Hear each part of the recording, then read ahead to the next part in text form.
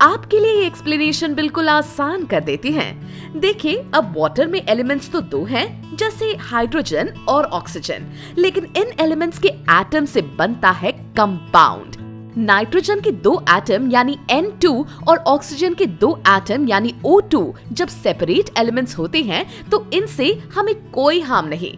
लेकिन अगर हम इन्हें कंबाइन करें तो एक पावरफुल एक्सप्लोसिव गैस में ये कन्वर्ट हो जाते हैं। इमेजिन कीजिए अगर हम कोई लोहे की चीज़ को बहुत दिनों तक खुले में रखते। कोई आयरन रॉड या आयरन का डोर तो नोटिस किया है, क्या होता है आपने? धीरे धीरे वो रस्ट होने लगता है।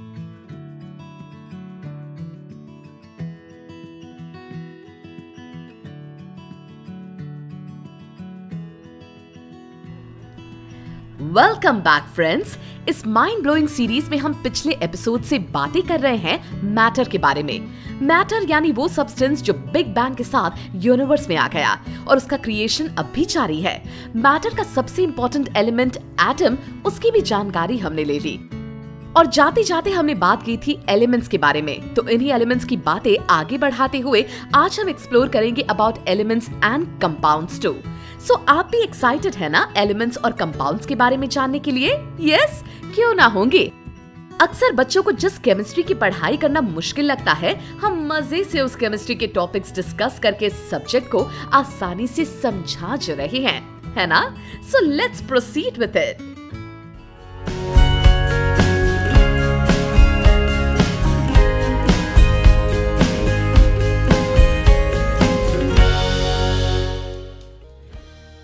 अभी तक हमने जितने भी एलिमेंट्स की बात की, उनमें से कुछ ही अर्थ के सरफेस पर एकदम प्योरेस्ट फॉर्म में मिलते हैं।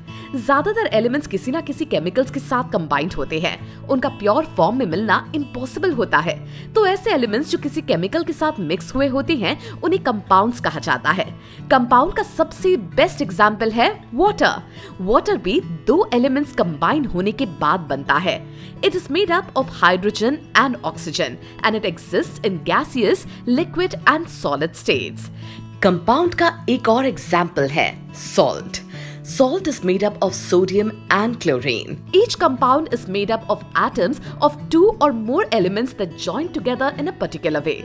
और इस तरह फॉर्म होते हैं कंपाउंड्स एटम्स के इन कॉम्बिनेशन को मॉलिक्यूल्स कहा जाता है आपके लिए ये एक्सप्लेनेशन बिल्कुल आसान कर देती हैं। देखिए, अब वाटर में एलिमेंट्स तो दो हैं, जैसे हाइड्रोजन और ऑक्सीजन लेकिन इन एलिमेंट्स के एटम से बनता है कंपाउंड तो वाटर बनाने के लिए तीन एटम्स की ज़रूरत पड़ती है।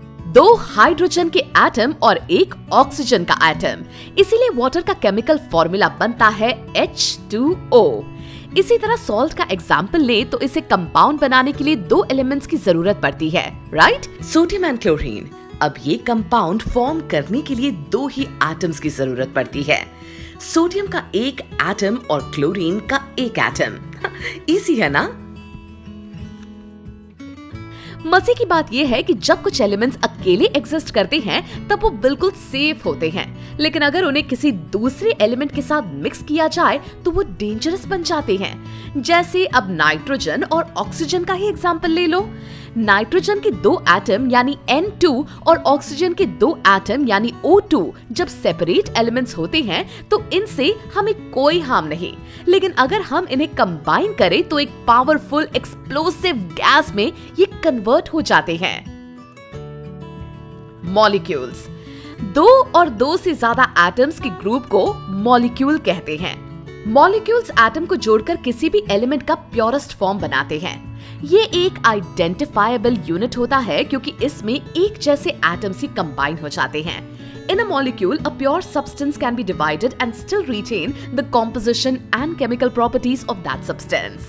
तो वाटर कंपाउंड में जब हाइड्रोजन के दो एटम्स कंबाइन होते हैं तो उन्हें हाइड्रोजन मॉलिक्यूल कहा जाता है। कुछ एलिमेंट्स ऐसे होते हैं जो फ्री एटम की तरह एग्जिस्ट ही नहीं करते। वो आइदर कंपाउंड के फॉर्म में या मॉलिक्यूलर फॉर्म में ही एग्जिस्ट करते हैं। हाइड्रोजन उन्हीं में से एक है।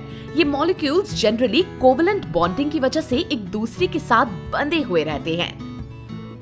A covalent bond is a chemical bond that involves the sharing of electron pairs between atoms. इन्हें shared pairs या bonded pairs भी कहा जाता है chemical reactions.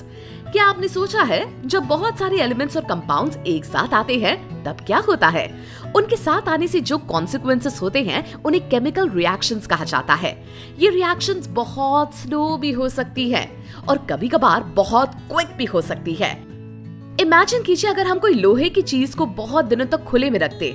कोई आयरन रॉड या आयरन का डोर तो नोटिस किया है? क्या होता है आपने? धीरे धीरे वो रस्ट होने लगता है। हम्म ऐसा क्यों? ऐसा इसीलिए क्योंकि आयन हवा में प्रेजेंट ऑक्सीजन के साथ धीरे धीरे रिएक्ट करता है और आयन रस्ट होने लगता है। अब इसमें आयन को मॉइस्चर का साथ मिल जाए तो ये प्रोसेस जरा फास्ट होने लगती है। केमिस्ट ने पिछले 200 सालों में लाखों कंपाउंड्स की डिस्कवरी की है। अभी भी नए कंपाउंड्स की खोज जारी है। हर कंपाउंड की अपनी एक स्पेशलिटी होती है और उसी की वजह से हर कंपाउंड की दूसरे कंपाउंड के साथ केमिकल रिएक्शन अलग अलग तरह से होती है। इसीलिए हर केमिकल रिएक्शन अलग अलग साइंटिफिक पर्पज सर्व करती है। इमेजिन कीजिए अनफॉर्चुनेटली कहीं आग लग जाए तो हम जल्दी से फायर एक्सटिंग्विशर ऑपरेट करके वो बुझाने की कोशिश करते हैं राइट फायर एक्सटिंग्विशर के अंदर जो ब्रोमाइन होता है, वो रिएक्ट करके आग बुझाने का पर्पस सर्व करता है। सो so फ्रेंड्स पहली नज़र में मुश्किल लगने वाला केमिस्ट्री का सब्जेक्ट अगर मज़े से पढ़ो तो कितना आसान हो जाता है है ना? आज हमने ढेर सारे एग्जाम्पल्स देखते हुए एटम्स मॉलिक्यूल अब कंपाउंड्स और केमिकल रिएक्शंस को समझा।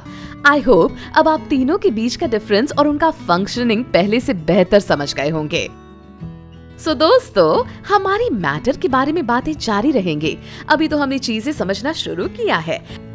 आगे हम ऐसे बहुत से इंटरेस्टिंग फैक्ट्स देखेंगे। Okay so for that subscribe to our mind wars YouTube channel hey guys want to be the first to know of the on the mind wars YouTube channel hit subscribe and click the bell icon and remember knowledge increases when you share it so like share and tell your friends about the video